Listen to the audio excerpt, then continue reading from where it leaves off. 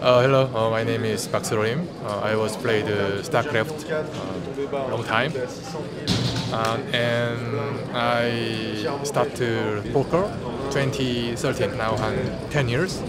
So, so in Korea, uh, not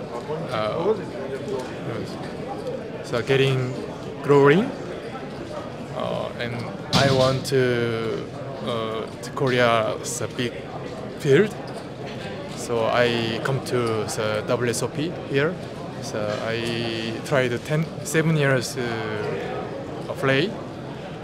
Mm, so I I hope is one bracelet, and I I take bracelet uh, to Korea. Uh, I think uh, uh, then uh, more big field uh, in Korea. So that is my